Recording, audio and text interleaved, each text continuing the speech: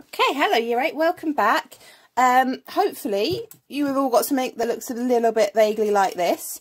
Um, some of the bits you've been sending me, my groups, they've been absolutely fantastic. Really thank you to those who've been persevering, okay, and asking me what can you use instead of masking tape or PVA glue and stuff like that. I really appreciate the fact that you are trying to do this. Um, so well done you.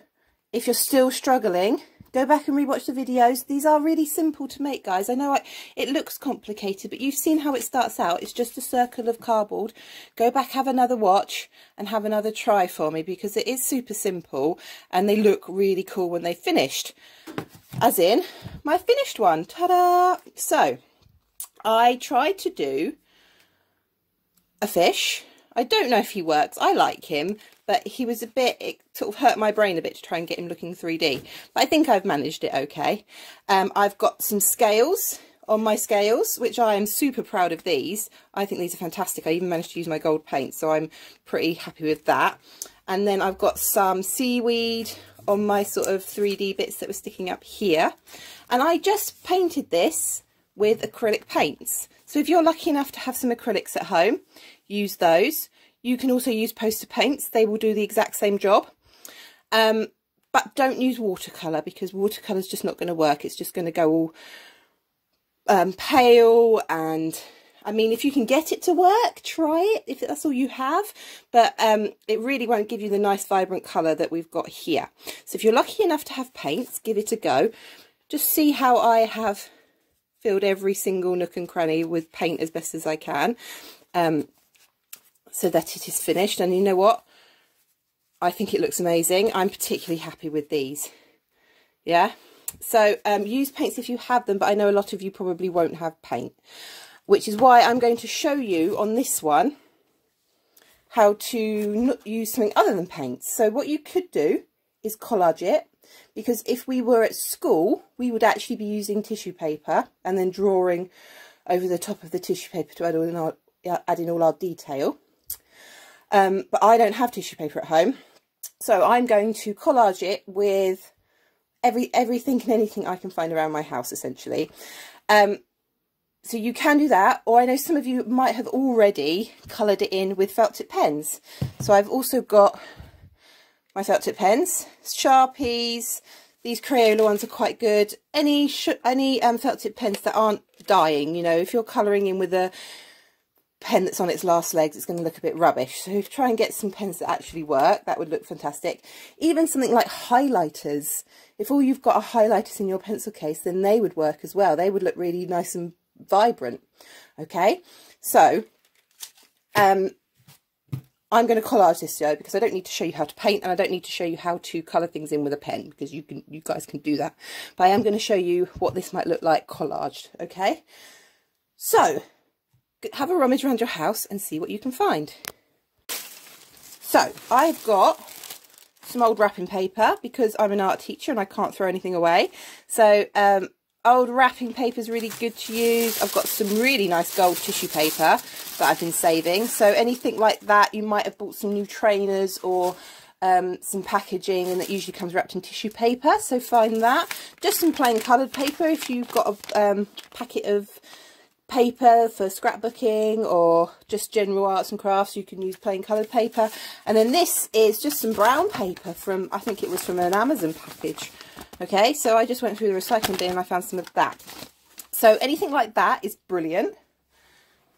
If you don't have anything like that you can use magazines. So I've got an old week couple of issues of Weekend from the Guardian. I've got an old fashion magazine um, and a house and home magazine an ideal home magazine I think I got that free.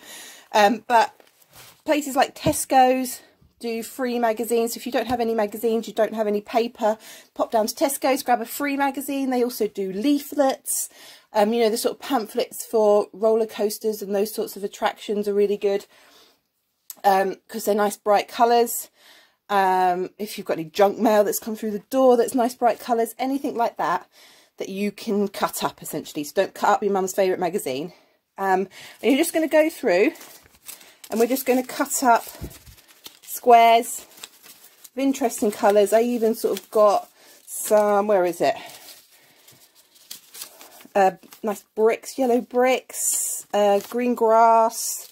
There might be in the travel one, there's probably uh, some um, waves and some sea and some even maybe pictures of fishes and things that you could include on here. So let your imagination run wild um, and see what you can find. Once you've done that, grab a pencil and you're going to draw as best as you can. It's going to be tricky because it's quite bumpy, but you're going to draw the areas that you want to collage in certain colours. So it might be that this bit I want to do all red. So I'm just going to sort of block off the area that I want to be red. And then I think I might have up to here I might do some sort of zigzag pattern in here. Remember, look back at your design, see what your design says. Because I'm really impressed how many of you have been sort of following closely to your design. I think I might do some polka dots over on this side. And then this guy,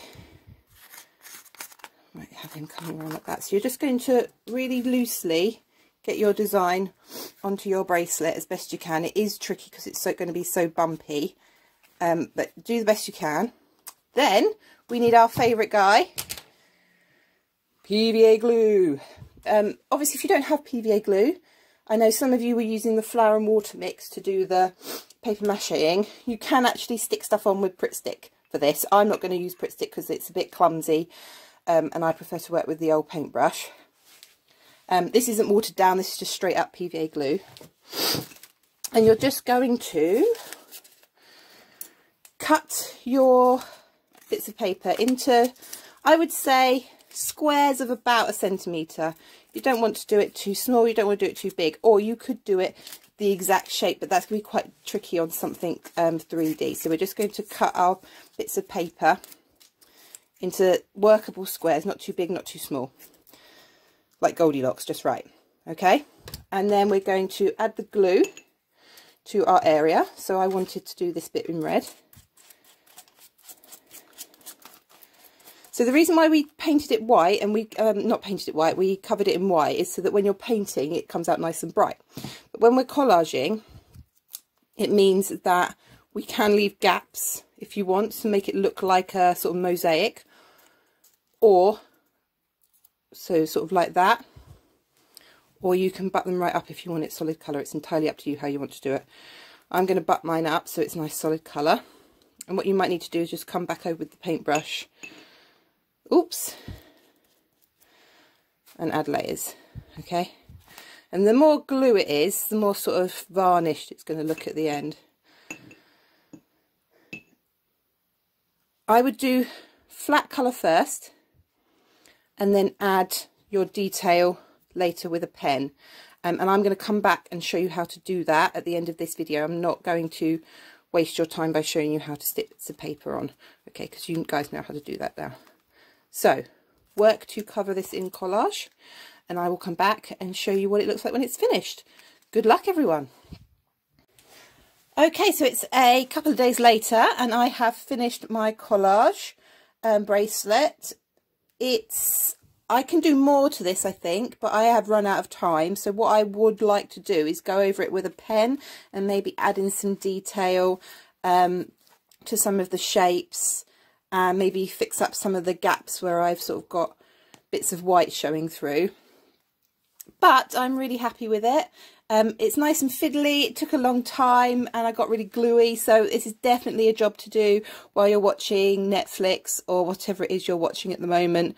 Um, it's, re it's really sort of therapeutic as well. So if we have a couple more rainy days, this is a really good one to sit and do while it's raining outside and you can't go out.